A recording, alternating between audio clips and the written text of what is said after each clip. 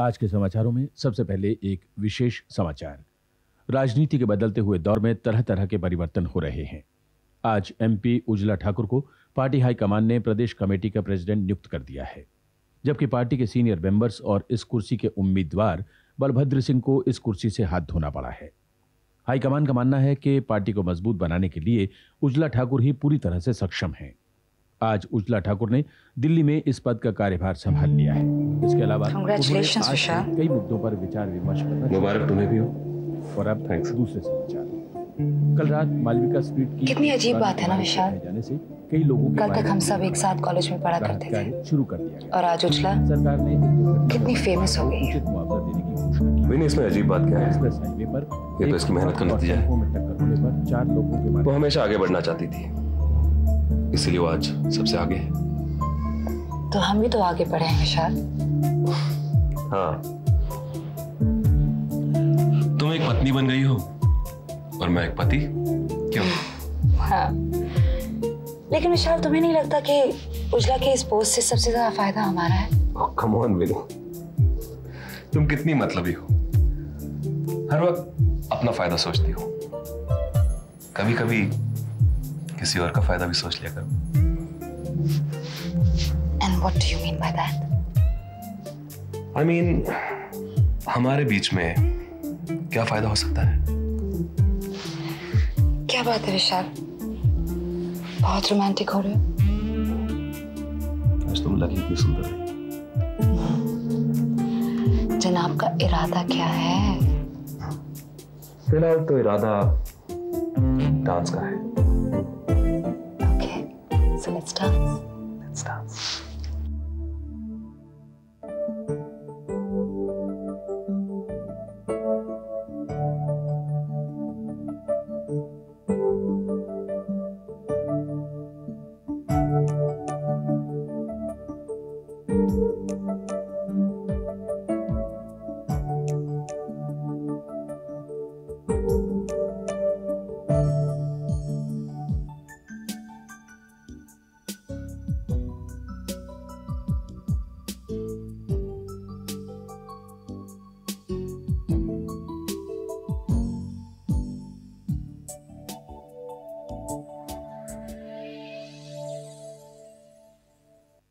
जी। हमलावर का नाम था जगदीश राव। डबराल साहब की कंपनी के लेबर यूनियन का एक मेंबर था वो। No Vishal Dabral is not involve ये अखबार वाले भी। अदालत में साबित हो जाने के बाद भी बेचारा विशाल क्या क्या सहना पड़ेगा? नमस्कार अल्ताफ भाई। बड़ी लंबी उम्र है तुम्हारी। क्यों? लगता है मेरी बात हो रही थी। कैसे हो Vishal? I am fine congratulations party की प्रदेश कमेटी की अध्यक्षा बनने पर? Thank you am extremely sorry जिस आदमी ने तुम पर हमला किया वो हमारी कंपनी का एक यूनियन मेंबर है। It's not your fault Vishal labour union और डबराल साहब की पहले से ही अनबन थी। और उसी समय पार्लियामेंट में हमारा ऐसा बिल पास होने जा रहा था जिससे सबसे बड़ा नुकसान तुमको और डबराल साहब को होता। और इसी का फ़ायदा उठाया जगदीश राव ने। अपनी आपसी दुश्मनी निकालने के लिए मुझ पर हमला करवाया। ये जानते हुए कि पुलिस का सबसे पहला शक जाएगा तुम पर और डबराल साहब पर। और इससे तुम्हारे खानदान की बदनामी होगी। खैर जाने दो ये सब बातों को। आओ बैठो। किशोरी चाय लेके आना। उज्जवला वो दूसरे कातिल का कुछ पता चला? विशाल पुलिस तफ्तीश कर रही है। लेकिन अभी तक किसी नतीजे पे नहीं पहुँची कि वो कातिल कौन था और उसने उजला पे हमला क्यों किया। एक्सक्यूज मी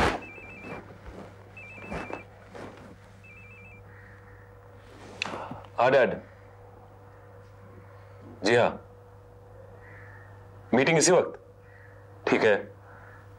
आता हूँ बस पंद्रह मिनट में। सी यू कोई नया प्रॉब्लम? वो तो वहाँ जाके ही पता चलेगा। मैं चलूँ? चाय? फिर किसी वक्त। जल्दी में थोड़ी उजला उजला बेटी क्या हुआ? उजला? उजला ही ओके आई एम फाइन मेरे ख्याल से सफ़र में सफ़र की वजह से थकान आ गई है। मैं डॉक्टर को बुलाता हूँ। No I be okay really Ujla आगे तबीयत और खराब हो सकती है डॉक्टर को बुला लेते हैं। क्यों भाई? हेलो डॉक्टर घोष विशाल डबराली अब मैडम उजला ठाकुर के घर फ़ौरन आ जाइए उनकी तबीयत खराब है जी हाँ जल्दी thanks thank you Vishal but that wasn't necessary you go नहीं मैं यहीं रुकता हूँ डैड डैड इंतज़ार कर रहे होंगे तुम जाओ I be fine Sure. Now. Okay. I'll call you later. Take care.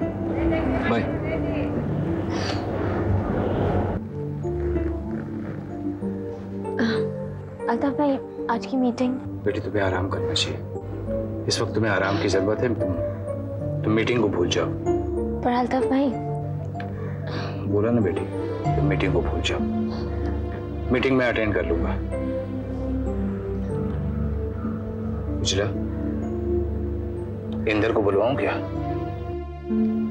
नहीं। उसकी ज़रूरत नहीं है।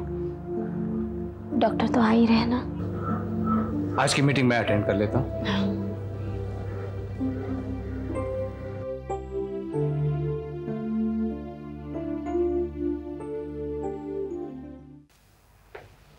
Hi, Dad. हाँ बेटा बैठो। How are you feeling, Dad? अब पहले से बेहतर हूँ।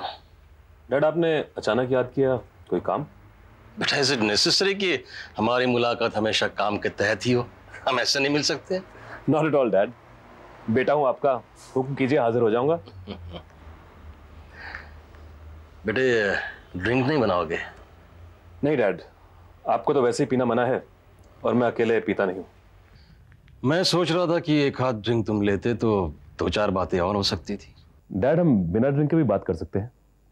आप शुरू कीजिए। बेटे, पार्लियामेंट में उज्ज्वला का बिल पास होने के बावजूद, नदी किनारे से अपना केमिकल प्लांट न हटाने की जिद पर मैं अड़ा हुआ था। फिर जब मैंने ठंडे और खुले दिमाग से सोचा तो मुझे महसूस हुआ कि जो मैं करने जा रहा हूँ, वो सही नहीं है, गलत है। देखो बेटे, आज तक जो हुआ है उसके लिए ना मैं तुम्हें जिम्मेदार ठहराना चाहता हूँ, ना किसी और को। अनफॉर्चुनेटली उज्ज्वला पर जो कातिलाना हमला हुआ, उसका गुनहगार हमारी कंपनी का एम्प्लॉय था। उसका इल्ज़ाम भी मैं अपने सर लेने के लिए तैयार हूँ। बेटा, क्या ऐसा नहीं हो सकता कि हम सारे गिले शिकवे छोड़कर अपना बाप बेटे का रिश्ता फिर से निभाएँ। क्यों नहीं हो सकता डैड? लेकिन ये बताइए डैड आपने फैसला क्या किया है? यही कि केमिकल प्लांट की जगह तुम्हारे मर्ज़ी के मुताबिक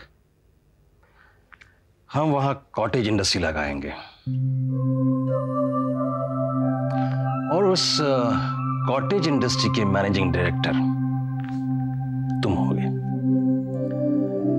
मुझे खुशी है डैड आपने ये फैसला किया है।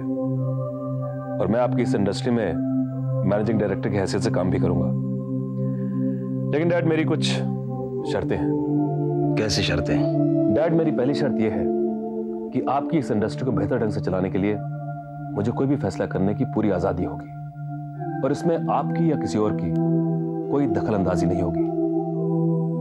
दूसरी शर्त यह है डैड कि आपकी इंडस्ट्री में काम करने वाले हर वर्ग को financial security medical aid free lunch और बाकी सब फैसिलिटीज़ होंगी। और डैड मेरी तीसरी शर्त यह है कि हमारी कंपनी के प्रॉफिट्स में सारे वर्कर बराबर के हिस्सेदार होंगे। और उन्हें उनके हिस्से का प्रोविडेंट फंड ग्रेचुटी और बोनस वक्त पे मिलेगा। ताकि हमारी कंपनी की पॉलिसी से दुखी होकर कोई भी वर्कर आइंदा उजला जैसी समाज सेविका पे जानलेवा हमला ना कर सके। ओके। ठीक है बेटा। मुझे तुम्हारी तमाम शर्तें मंजूर हैं। थैंक यू डैड मुबारक हो। आप माँ बनने वाली हैं।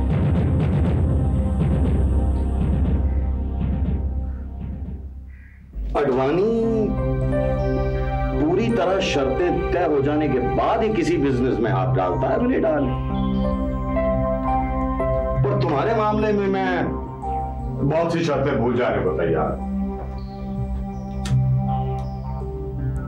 वैसे तुम्हारी प्रपोजल मुझे पसंद आई। इसमें प्रॉफिट ही प्रॉफिट है। अडवाणी साहब जिस बिज़नेस में 100 परसेंट प्रॉफिट ना हो वो बिज़नेस बिज़नेस ही कहा? यू आर एब्सोल्युटली राइट बनी अरे 20-30 परसेंट प्रॉफिट का बिज़नेस किया भी तो क्या खाक किया? वेल जो बिज़नेस आप मेरे साथ करने जा रहे हैं मिस्टर अडवाणी उसमें फाइनेंशियल प्रॉफिट्स के अलावा और बहुत फ़ायदे हो सकते हैं आपके। और कौन कौन से फ़ायदे भी नहीं डाले मिस्टर अडवाणी आप मेरे साथ एक बहुत बड़ी एड एजेंसी खोलने जा रहे हैं। तो आप खुद अंदाज़ा लगा सकते हैं कि एक एड एजेंसी में पैसों के अलावा आपके और क्या क्या फ़ायदे हो सकते हैं। Good exciting by the way डालेंगे इस प्रोजेक्ट का बजट कितना है? बजट अरे भाई इतनी मामूली सी रकम तो तुम्हारा ससुर धर्मराज डबराल भी तुम्हें दे सकता है। आ, मिस्टर अडवाणी मैं अपने करियर में ना ही अपने पति ना ही ससुर की हेल्प लेना चाहती हूँ क्योंकि मैं अपनी पहचान खुद खूब बनाना जानती हूँ। खुदा रो डाले गुड अगर तुमने अडवाणी को पहचान दिया है तो अडवाणी भी तुम्हारी पहचान बनाने में कोई कसर नहीं छोड़ रखेगा। बस अपने किए हुए वायदे मुझसे जो है वो याद रखना। और अगली मीटिंग में अपना प्रोजेक्ट का फ़र्स्ट इंस्टॉलमेंट मुझसे दे जाना। Thank you very much you welcome.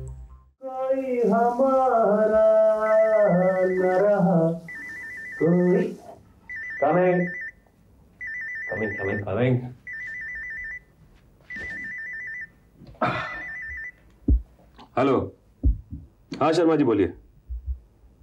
आप गए थे फैक्ट्री में? क्या बात हुई?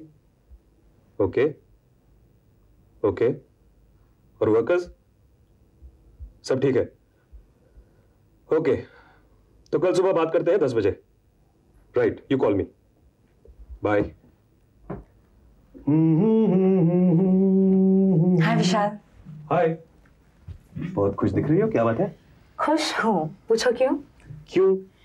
सेल्फ आइडेंटिटी की राह में आज मेरी पहली कामयाबी है। अच्छा। इसका मतलब? क्या विशाल जो प्रोजेक्ट मैंने फाइनेंसर के सामने रखा था उसे पसंद आ गया है। And is willing to finance me Vini मैं नहीं जानता सेल्फ सेंटर्ड होकर तुम सेल्फ आइडेंटिटी पाने की राह में कितनी आगे बढ़ चुकी हो। पर इतना ज़रूर कहूँगा किसी भी राह में कोई कदम रखने से पहले सेल्फ रियलाइजेशन बहुत ज़रूरी है। Self realisation what you mean Vishal तुम्हें होना हो मुझे अपने आप पर पूरा यकीन है। खैर मेरी भी डैड से बात हुई थी आज।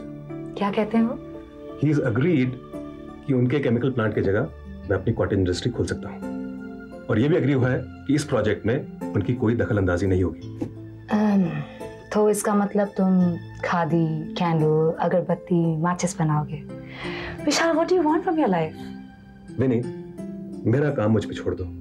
And please concentrate on your work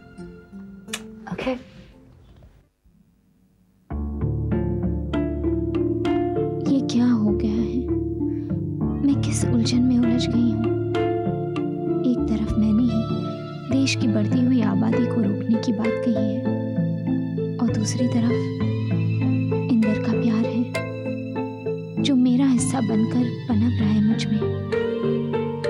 मैं उस बच्चे को जन्म दू या नहीं? दोनों ही मेरे अपने हैं। मैं किसके साथ न्याय करूँ?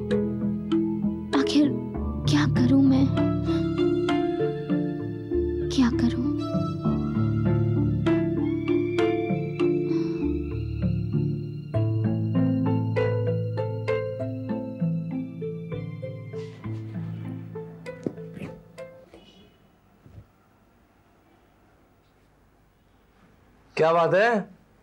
बहुत परेशान लग रही हो? नहीं बस यूँ ही बैठे बैठे कुछ सोच रही थी। सोच रही थी घर के बारे में या बाहर के बारे में? दोनों ही। दोनों ही तो अपने ही हैं। हाँ और ये दोनों अपने हमेशा भटके रह जाते हैं इसलिए हमेशा परेशानी रहती है तुमको। अरे छोड़ो भी उजला। तुम्हें पता है तुम्हें परेशान देखकर मुझे कितना दुख होता है। आखिर तुम्हारा पति हुए पत्थर तो नहीं? आई नो अंदर। अच्छा यार छोड़ो। भैया का फ़ोन आया था। सब ठीक तो है? हाँ सब ठीक है। भाई जश्न मनाया जा रहा है। भाभी चौदह साल बाद माँ बनने वाली है। चौदह साल तक भैया और भाभी बहुत निराश रहे। बट आई कैन सी दम नाउ भैया के फेस पे खुशी भाभी के फेस पे खुशी और हाथ में एक छोटा सा प्यारा सा। क्या बात है? ये खबर सुन के तुम्हें खुशी नहीं हुई? नहीं अंदर ऐसी कोई बात नहीं है। अच्छा वो परेशानी परेशानी। उस परेशानी का क्या हाल है? क्यों ना हम कुछ दिन गाँव घुमाए? ज़रूर। छोटा सा ज़रूर। क्या करें इस परेशानी का हंस दो अरे हंस दो हंस दो हंस दो हंस दो आत्माराम इस वक्त जैसे हालात चल रहे हैं उसका यही तकाजा है कि मैं पार्टी की कोई भी मीटिंग अटेंड ना करूँ। काली मैया की कसम उससे यह ज़ाहिर हो जाएगा कि पार्टी की ताकत मुझसे है उस अबला से नहीं। जिस उजला को तुम अबला समझ रहे हो बलभद्र सिंह वो अब सबला होती जा रही है। और वो अरे वो सबला होती जा रही है पर पूरी तरह हुई तो नहीं। और काली मैया की कसम मैं उसे अपने से ताकतवर होने भी नहीं दूँगा। डायरेक्ट आला कमान से मिलूँगा और कहूँगा मैं एक यही बहुत बड़ी कमज़ोरी है बलभद्र सिंह। बहुत जल्द तैश में आकर भद्रता की हदें पार करते हुए अपने बल के बदले शेर की तरह से गरजने लगते हो। अरे भाई, जरा इसे सोचो। ये सोचो कि पार्टी का प्रेसिडेंट बनने के बाद उसने पार्टी के लिए कोई ठोस, पुख्ता काम किया है या नहीं? हुँ? पहले उसे कोई काम तो करने दो। फिर फिर देखो, वो जब भी कोई काम करेगी उसकी आलोचना करके मेजोरिटी से उसे गलत साबित कर दो एक बार दो बार नहीं हर बार ऐसा करो। फिर देखो कैसे आला कमान को अपनी गलती का एहसास नहीं होता? कैसे वो तुम्हें प्रदेश कमेटी का प्रेसिडेंट नहीं बनाते? काली मैया की कसम कांटे की बात कही आत्माराम। चाणक्य नीति का गूढ़ अध्ययन किया है आत्माराम ने। इसलिए कब कब तुम्हारी सोई हुई आत्मा को जगाना है आत्माराम अच्छी तरह से जानता है। उजला! उजला! उजला! क्या बात है? उजला आज मैं बहुत खुश हूँ। मैं अभी आती हूँ। नहीं नहीं नहीं नहीं तुम नीचे मत आओ मैं ऊपर आ रहा हूँ। अरे उजला तुम सोच नहीं सकती मैं आज कितना खुश हूँ। ये देखो मैं क्या I am so happy today Ujla क्या बात है? तुम मुझे सरप्राइज़ देने वाली थी, लेकिन डॉक्टर घोष ने मुझे सब कुछ बता दिया। कि तुम माँ बनने वाली हो। तुम माँ बनोगी, मैं पापा बनूँगा, एक गुड़िया आएगी। उजला क्या बात है तुम? इंदर, मैं तुमसे कुछ बात करना चाहती हूँ।